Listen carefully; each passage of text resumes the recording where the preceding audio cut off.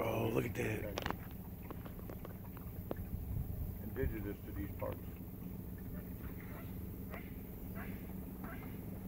Well, look, at where